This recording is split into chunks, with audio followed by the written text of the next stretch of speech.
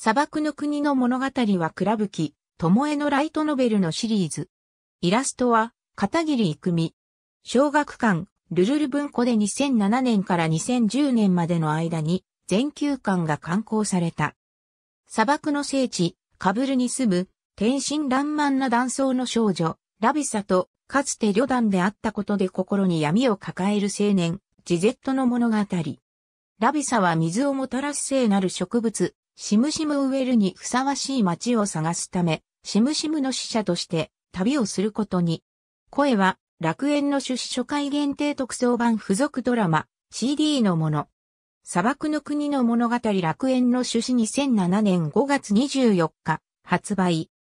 ISBN 978から4から09から45万2011から8 ISBN 978から4から09から45万2013から2砂漠の国の物語風はさらう2007年11月1日発売。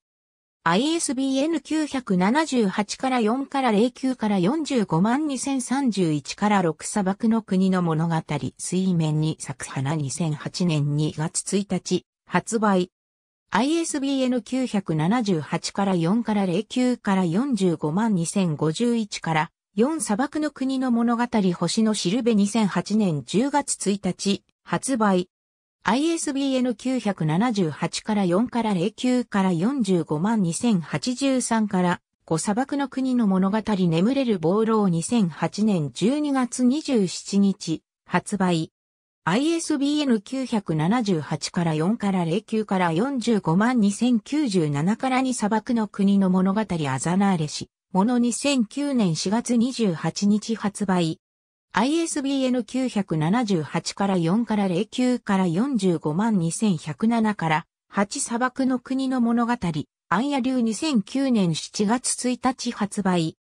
ISBN 978から4から09から45万2117から7砂漠の国の物語校の戦律2009年10月30日発売。ISBN 978から4から09から45万2134から4砂漠の国の物語重なる輝き跡2010年2月26日発売。ISBN 978から4から09から45万2147から4。ありがとうございます。